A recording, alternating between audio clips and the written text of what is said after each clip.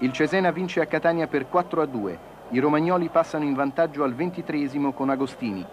Pareggia il Catania sul rigore al 43 Il tiro dagli 11 metri è di Borghi. Torna in vantaggio il Cesena in apertura di ripresa con Patrizio Sala. Poi Gibellini porta a 3 le reti degli ospiti su calcio di rigore.